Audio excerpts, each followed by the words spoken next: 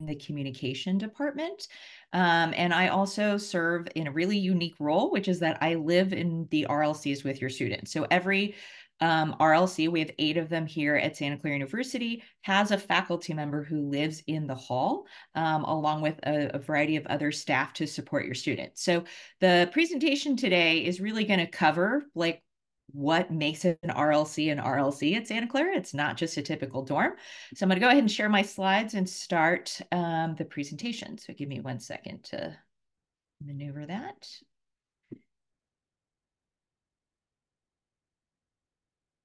All right. Okay, so here at Santa Clara, we call our residence communities residential learning communities, and for short, we call them the RLCs. Um, so in my role, I am the live-in uh, faculty member in Cura RLC, which is housed in Finn Hall.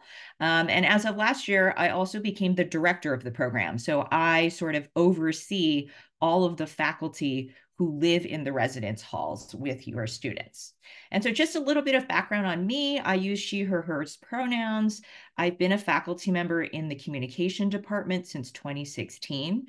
I study public health communication, and that comes in handy in the residence halls because sometimes we want to create campaigns to sort of help students understand uh, how to maintain their health and well-being. Um, I have been the live-in faculty member, who we call faculty directors here at Santa Clara, um, in my RLC since 2019. So I just completed my fifth year of service. Um, and as of last year, as I mentioned, I also stepped into the role where I oversee the entire program. Um, and that's been a really fun um, and exciting role for me. So why do we do RLCs um, at, at Santa Clara? Well, you know, because I'm I'm kind of a nerd and I am a researcher in my other hat as a faculty member.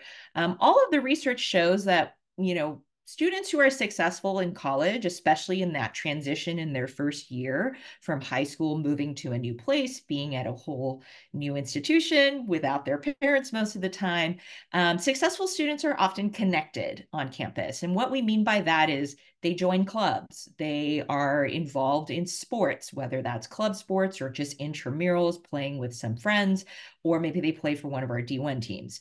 Um, they're connected through their classes to their faculty, to their classmates.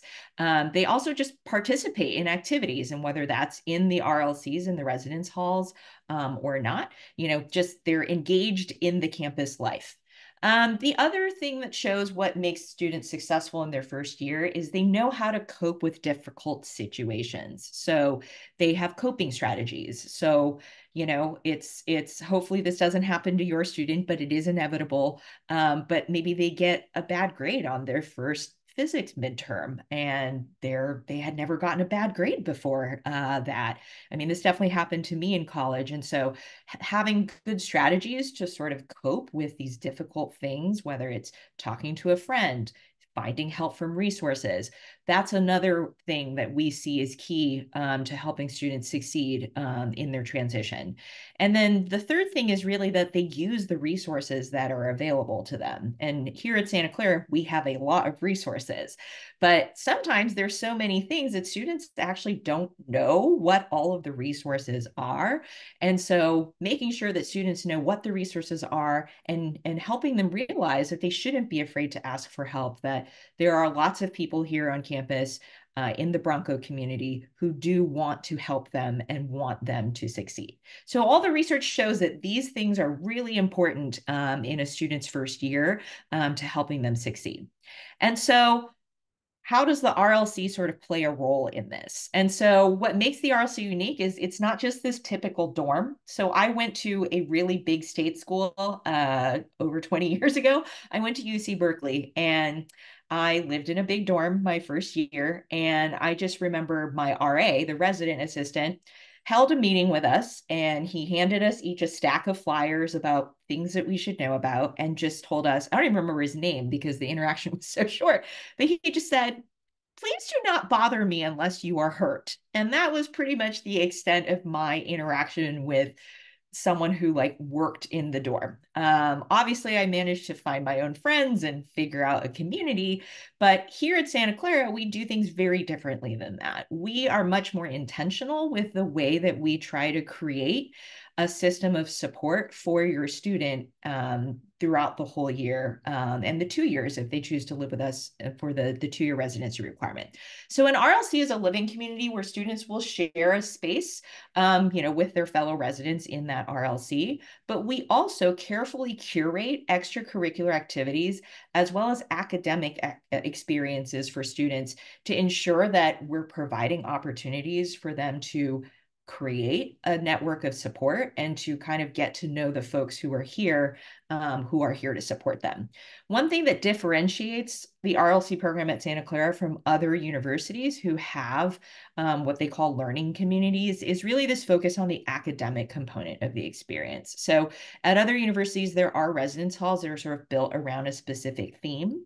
We do have that at Santa Clara, but this faculty live in um, sort of component is what makes us unique. Not a lot of um, uh, institutions have a faculty member who lives in the residence halls. So, you know, to give you just sort of some more context about what that means is I have an apartment in Finn Residence Hall on the third floor, and this is my home. And so my neighbors are students. You know, we also have a resident. So I'll I'll kind of walk through who else lives in the hall, but we have a whole team of folks um, that are, you know, sort of carefully and intentionally curated to ensure that we can create a system of support for your student as they transition in their first year.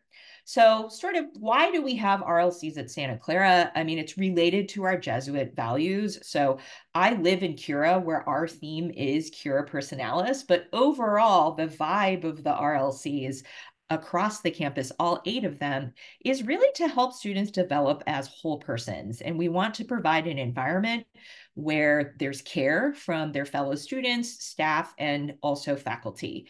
Um, I think this idea of you know students are obviously here to get their degrees and learn you know content academic content in the classroom but hopefully you'll agree with me that college is also about a time a time where students can also you know form into adults and their emerging adulthood. And so our hope is that by providing this rlc experience your students are getting a more holistic experience um, in their first and second years of college um, another key reason why we have the RLCs is really to create opportunities for students to develop the connections that I talked about in that first slide, which is if they're connected through participating in sports, clubs, being engaged with their faculty. Um, that leads to greater learning, um, deeper connections to university, feeling more at home in this new place that they're moving to. Um, and all of those things definitely connect to student success um, and student thriving. And so, you know, some of the goals we have in the RLCs is that, you know, we're trying to kind of provide our students with this enhanced integration of academic and their outside of class activities. And so we want to increase students' interaction with as many people as we can in their first year because the more people they meet and figure out who their their core support network is going to be, um, that's going to lend it uh, them to greater success in their transition and throughout their four years here at Santa Clara. We want to connect them to different activities that they can participate in and different resources that we have on campus. And again, as I mentioned, we want to deepen their integration to the university community because Santa Clara is a very tight knit community. Um, you know, we're considered sort of a mid sized school. We have about 60 100 undergrads. Um, and while that can feel like big for some students who are coming from a much smaller high school, there is something about the way we do community here at Santa Clara that makes it really tight knit. And I think that is because we're really focused on this number three in the RLCs, which is we're helping students get connected to as many things on campus as possible. And when you have sort of a, a tighter network where people are connected to similar multiple things, then that leads to a much more tight knit um, and close community. And we're very proud of that here at Santa Clara. So I've listed all these amazing things that the RLCs do, but how do we actually do that? How do the RLCs function? So each of the eight RLCs has a theme. And the faculty, we have professional staff who live in the RLCs and also RRAs, who we refer to as um, community facilitators or CFs here. Those are the student staff, and we all create programs around the theme of each of these RLCs. And we offer all kinds of programs that are free to your students. So this might mean, you know, we um, host a workshop with our Career Center in the common room of the residence hall. And we have, um, we help students build their LinkedIn profile or if we're thinking about cultivating kind of like um, emotional regulation, we also partner with our counseling and psychology services office where they're one of their therapists might come and talk through, okay, you know, midterms are coming up in a couple of weeks. We know that some of you, you know, we hope that this doesn't happen, but in the case that you're really stressed out, here are some coping strategies. So we really try to bring those kinds of programs to the residence halls so that students don't have to go out seeking for them. You know, they can just hang out here and we will bring those things to them. Um, and so across the eight RLCs, we have common guidelines, like, you know, specific ways that we have to, certain programs that we have to implement to ensure that all students, regardless of which RLC they're in, um, have these different programs to help them academically, socially, and spiritually, um, and, and to help support their transition as they uh, you know, join Santa Clara. So here, I'm just going to flash the eight RLCs and their themes up here um, on the slide. So the first four, and they're in alphabetical order, are Alpha, Cura, CyPhi, and Da Vinci. Um, these are the themes. I won't read them to you, and we will get um, this recording and the slide deck. Um, so, you know, if you, as long as you know which RLC your student has been assigned to, which you find out at orientation, these are kinds of the themes um, that we focus on. And so each RLC is housed in these specific buildings, and then these are the faculty directors. So the faculty directors who serve in these roles come from all kinds of departments across campus, um, and we all sort of serve the same role, which is to help support the academic transition of your student. So here are the other four RLCs and their themes, the buildings that they're in, as well as the faculty member who will be serving in this role um, in this coming year.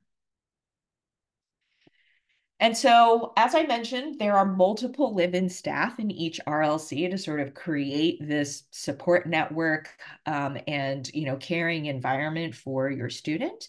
So there is a resident director. The resident director, actually, my resident director uh, called herself sort of like the, the property manager, the building manager. And I think that's a very apt way of describing um, the resident director, but they pretty much manage the building, the operations of the building. The key people that your students will probably really want to get to know is their community facilitator. So other schools call um, the community facilitator RAs. For us, it's CFs for short. But this is this student, they're an undergraduate student, um, and each of these CFs has sort of like a wing or a floor, depending on the shape of the building that they're in. And all of those residents, student residents who live in that wing or on that floor, they will have a person sort of assigned to them who is their CF, who they can go to as sort of like a first, I have a question about this, or do you know how I can get this? The CFs are trained to be helpful and supportive, unlike my RA when I started college. So it is very intentional, um, and they come for training for two and a half weeks before the students move in. And so they are ready to support your student. We also have someone called a spirituality facilitator who comes from campus ministry. This is a graduate student to help cultivate spirituality, but I would actually say in practice, their role is much broader than that. They're just another, you know, sort of um, near peer, so someone who is a graduate student um, who can sort of offer advice and support. Um, and I know that there are many students who I've talked to who have lived in the RLCs who really deeply appreciate the spirituality facilitator. Um, new as of two years ago, we also now have therapists who live in the residence halls. Um, we have four therapists and residents who serve the eight residence halls. So each therapist and residence is assigned to two specific RLC communities. And what the therapists and residents offer are they have drop-in same-day therapy appointments. So if a student resident is just really struggling with something, they can log into their portal and schedule a same day appointment with their therapist and residents and just chat with someone, you know, if they really need to talk through something or if they just want to talk to someone. They don't have to have like a major problem or crisis to talk to the therapist and residents. Um, they can just do that if if they just want someone to talk to. Our therapists and residents also hold group therapy sessions um, and those are meant for students who want to join a certain kind of group. So this past year, we offered groups for LGBTQ students.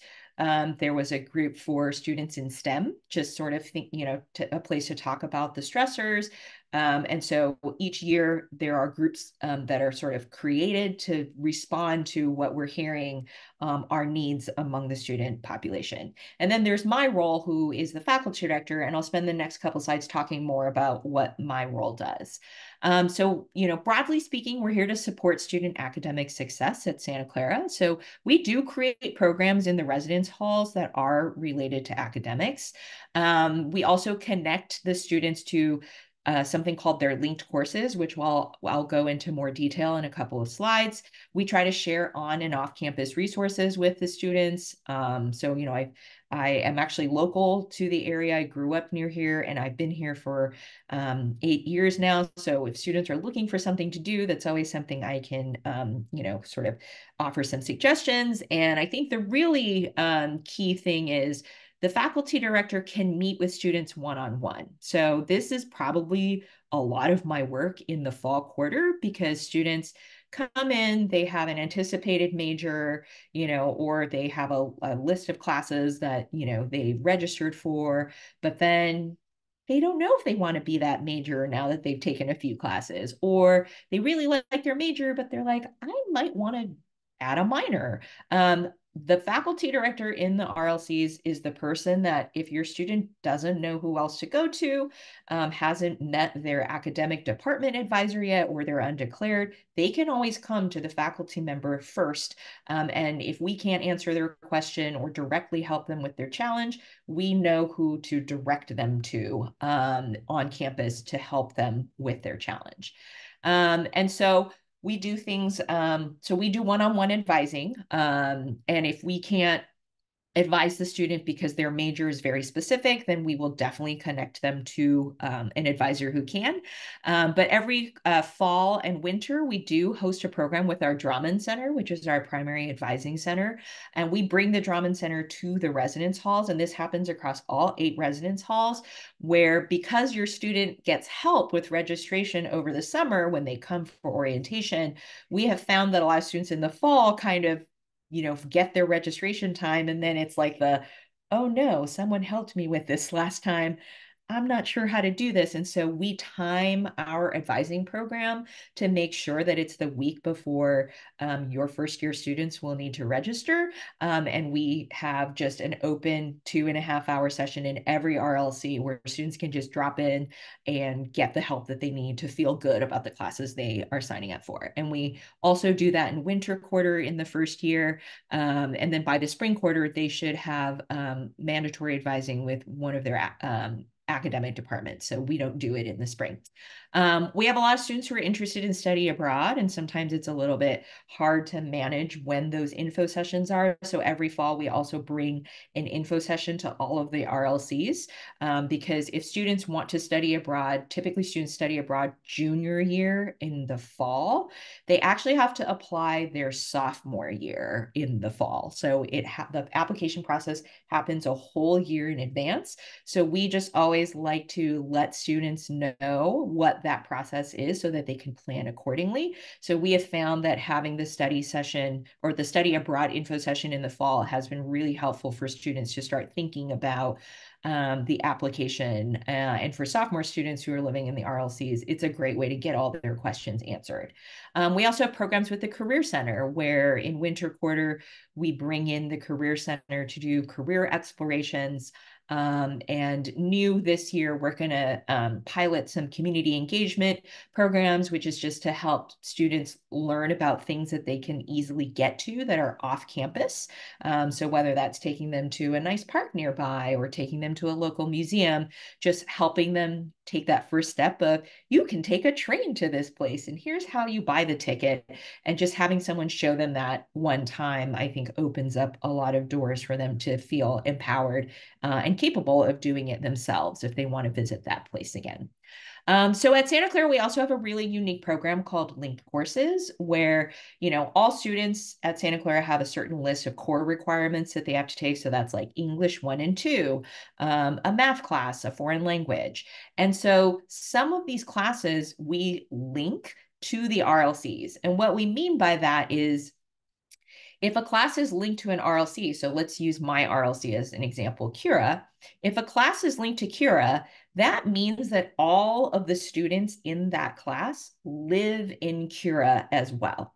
And so what that allows us to do is I can then coordinate with the faculty member um, who teaches that class that's linked to Cura, and we'll create programs that are in the hall. Or one, um, last quarter, the class that was linked to mine was focused on um, food, and so we actually met at the garden that we have on campus, the Forge Garden, and we did a whole class session talking about locally grown produce. And I got down and dirty and started cooking the meal with the students from with the vegetables that were harvested from the garden. And so it's really these are considered what we call high impact practices in higher education. And so this linked course um, kind of setup is considered a high impact practice and we are um, very intent on doing that. And so um, we are this year it's going to be slightly different where the linked courses won't happen until winter quarter. And that's um, because we it's because of the FAFSA thing. So hopefully that, you know, we won't have that experience again next year, but every student in their first year is enrolled in at least one linked class where everyone in that linked class also lives in their RLC. And there are also just some sort of like other benefits from that where students will notice they're walking to class and someone from their dorm was also walking in that direction. And then all of a sudden, the person's walking in the same building. And then they realize that student is also in their class. And so we kind of do that purposefully because then again, that leads to our first goal of you're we're helping cultivate these connections. So you're going to see people who live in your hall as well as are in this class. And we do tell the students that they're intentionally in this class that's linked to um, their RLC. So we also teach uh, a first year seminar, and sorry, I forgot to change the year here, but this will be in winter quarter, so your student's second quarter. So in each of the RLCs, um, it's the faculty director who will teach a quarter long seminar that's sort of like a you know how to how to do college 101 um, and so this we piloted this last year and we'll, we're still in a pilot phase this coming year um, where it's it's um, voluntary like it's optional for students they can sign up for it it's two units and it is letter graded and it it will be taught either by the faculty member living in the RLCs or the resident director and it's just a great way for students to come in this sort of low stakes way and learn about how to um, access resources on campus, um, learn about different cool things we have, like a garden and a museum. And so that seminar is really bringing in a lot of resources into the RLCs so that students know what exists um, around them. And then there's also a social program. So this is not in my domain, but I did want to talk about this a little bit. But our, our uh, CFs, slash RAs at um, what they're called at other universities also create a lot of social programs. Um, and so these are programs that help students learn how to maintain their well-being, um, learn about campus resources, connect with other students, take study breaks. Um, there are lots. So every week there's going to be at least two or three things happening in your student's RLC. And all of these are free to your student. Like they don't have to register ahead of time.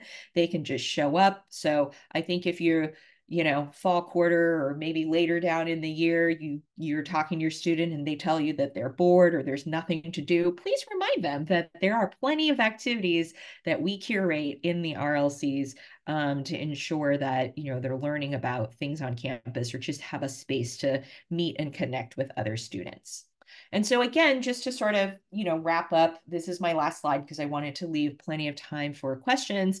Um, our goal is really, we want to create a curated environment for students to develop, to develop connections, um, connections with us, the staff, the faculty, connections with each other. And we want that space to be really safe um, and sort of like a nice landing place, you know, from transitioning outside of home and, and moving away from home.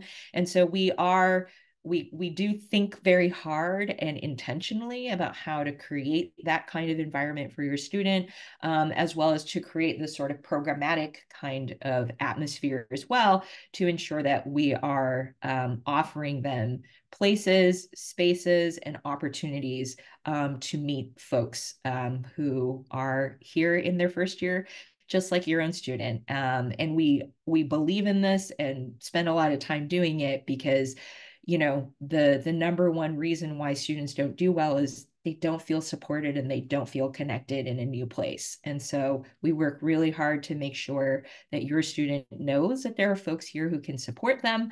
Um, and especially when their first few experiences of challenges come up, whether that's homesickness or a bad grade or, you know, a, a breakup, whatever it is that they know that there are resources here. Um, and we just want all of our students at Santa Clara in the RLCs and beyond to thrive. And so um, we are so excited to work with your student in the RLCs. You know, please don't let uh, hesitate to let us know how we can support your student. Um, and I think that concludes my formal presentation. So I'll go ahead and stop share. And I think Stephen's going to sort of um, open up the floor so that folks can either ask questions um, via the chat or you could just, I think he's going to allow for you to unmute um, and ask questions that way as well. Yep. So y'all should be able to unmute yourselves. I know we have a few questions in the Q&A if Chan, you want to take a look in there. Yeah. So I'll, I'll actually look at the Q&A first. So um, the first question is for Dunne Hall. I understand that elections and politics are part of the theme. While hoping the U.S. elections will not be divisive, how does Santa Clara keep this productive and inclusive with students? So this is actually, um, I just got an invitation to join uh, a campus-wide working group to start talking about how we can create an environment that um, allows for open discussion and different points of view um, as we have a contentious election season coming up. And so we are very conscious of that and already are starting to prepare. Um, even though that is sort of the focus of Dunne, um, I think we're gearing up for the entire campus, not just that RLC. Um, so hopefully that answers your question. Um, for the RLCs, do RLCs help freshmen with acclimating? So hopefully my presentation um, helped answer that question for you. Uh, yes, so we do do, um, you know, at least in my um, in the first year seminar, if your student uh, signs up for that, we actually have a whole unit on how to plan your schedule. Um, and the number of students who took mine last year, uh, this past year, and like tell me afterwards, like I still use the planning strategy that you shared with me. So we do have programs like that. Um, and so just encourage, we can't force the students to come, we host them. So, you know, this is why I love having a session with parents because I know that if I tell you, um, even if your student maybe doesn't want to go, if you nudge them a little, um, maybe they will come. So um, yes, absolutely. We have programs like that. Um, and then sorry if I missed it for the linked class, is that automatically assigned to students? Yes. So um, again, this year, I think we're going to try to do the linking in the fall, but because of the FAFSA sort of craze as most parents maybe probably know that the rollout of the new FAFSA application wasn't that smooth this year. We might not be able to do the linked courses in the fall, but they will happen in the winter and they will be done automatically. So your student doesn't have to do anything um, to participate in the linked course. Um, so next question is my daughter is a student athlete and has requested to have one of her teammates as a roommate. Is there a student athlete rlc they will be? So there are multiple rlcs that um, house athletes. So i think that is going to be worked out through uh, the athletics department and the housing department. So with the RLCs, I'm sort of more on the like the programs we create so to support your student. But typically, um, when we do have athletes, they are they are paired up with someone who is on their team. So my my guess is that that should work out for your daughter, but that will be something that I think the athletics department and the housing office sort of figure out. I don't have any um I don't have anything to do with that. I would help you if I did. Um, okay, the next question is my daughter is a transfer student, incoming junior, and signed up for campus housing, but has not heard anything back. um, is she if she ends up being placed in the University Villas, is there an RLC? So the the University Villas is um, for third and fourth year students, so it's technically not an RLC, but the Villas does have a robust programming um, similar to what I talked about. The only thing they don't have is the faculty member, although I am talking with the resident director over there um, to maybe pilot some um, sort of academic kinds of um, programs that I can sort of assign a faculty member to go and support. So we are going to try to try that out this year. Um, so just have your, um, if she ends up in the villas, there will definitely be programs. They have social programs, they have like real life programs. I've seen things like how to file your taxes. So they do do programming over there. Uh, the programs are just slightly different because they're geared for a third and fourth year audience. So I think they've had things with like the Career Center, like a resume workshop. So there is that kind of programmatic support um, in the RLCs as well. Um, so Next is I love rollout of community engagement experiences. Will there be a cost per each event or will we be billed? So in the RLCs, we do our best to have all of our programs be cost free for students. So um, usually if there is like a visit to a museum, we obviously can't do them that often and um, we can't bring everybody, but you know, not everybody signs up anyway, but if your student does want to go to one of these things and they sign up, usually we try to keep it um, no cost for the students. Um, or if there is a cost, it wouldn't be billed to you. It would be like, we'll provide the food, but you just have to buy your own train ticket, which is $10. And if it is ever a problem for a student, we will always work with the student to make sure that they can participate.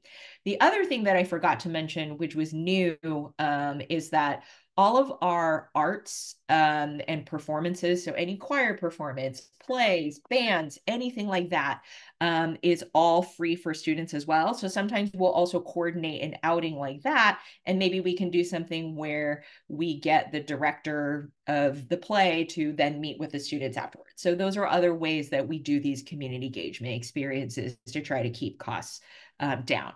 Um, the next question is Are commuter students a part of RLCs? Yes, they are. So, any incoming first year student who is a commuter um, will be assigned to an RLC, and your commuter student will have access to the programs. Every RLC sends out a weekly newsletter that talks about all the programs going on, um, and your student should be given access to the common areas of the residence hall that houses the RLC that they're in. Um, and they should be able to attend any of the programs um, that are being offered in that RLC.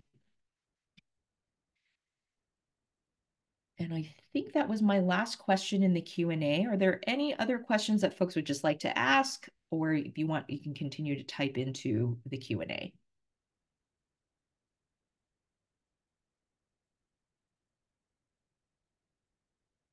Um, are there religious practices uh, or faith-based uh, events opportunities incorporated across the RLCs? So yes, so um, in every RLC, the spirituality facilitator is closely linked to campus ministry. And so I know that um, in some of the RLCs, the spirituality facilitator will court, like in mine, in Cura, um, she basically coordinates a walk over to Sunday Mass um, with to go to the student Mass with students.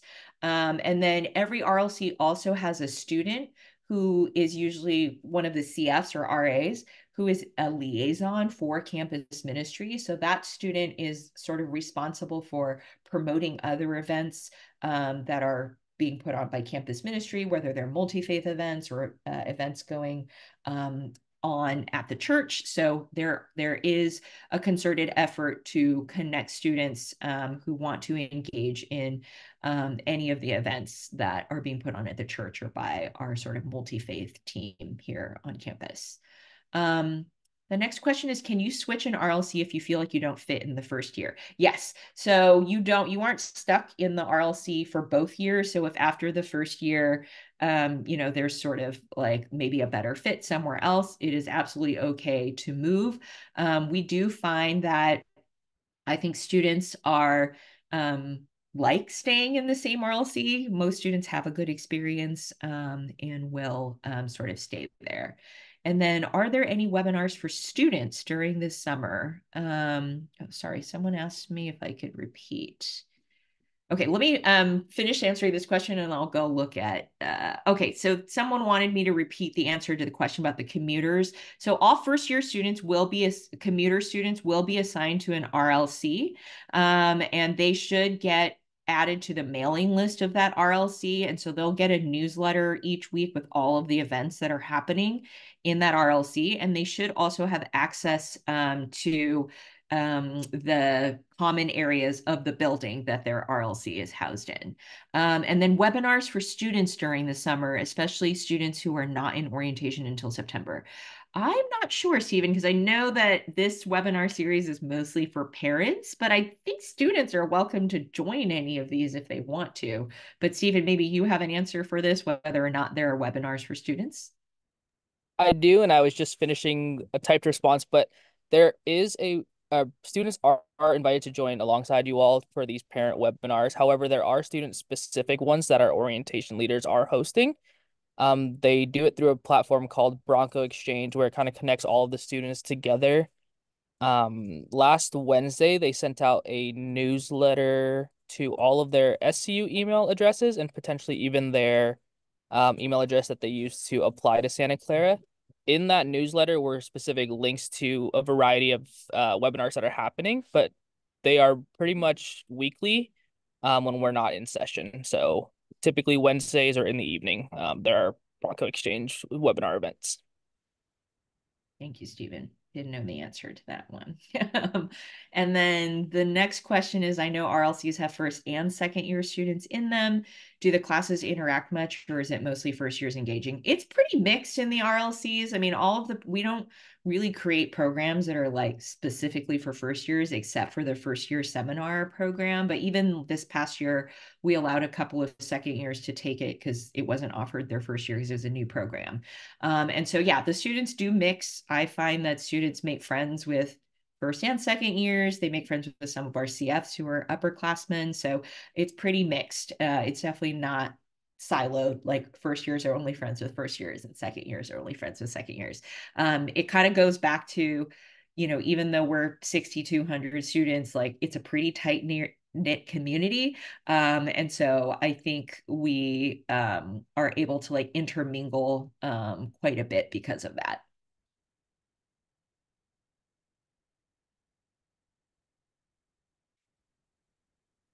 And then i think that are the re- that was the last remaining question. Any other questions that anybody has?